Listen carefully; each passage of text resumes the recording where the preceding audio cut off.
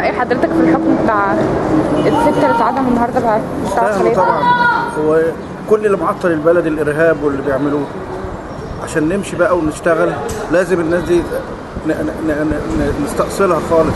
حكم قضاء حضرتك ونفذ دي ليه بالورق اللي بيعمله اللي قدامه هو اللي بيحكم بيه أي حاجة تاني دي محدش محدش بقى أصلا ما حدش هيقدر يعلق على القضاء في أي حاجة. القضاء هو الحر في القضاء وكل واحد ظالم يتحاسب يحاسبه ربنا وكل واحد مظلوم به ربنا. فاللي عمل جريمه لازم ياخد جزاء. اثنين ثلاثة أربعة ماتوا. عبرة للكل بقى. نموت نموت الناس اللي هي المفروض واقفة معانا وبتحمينا.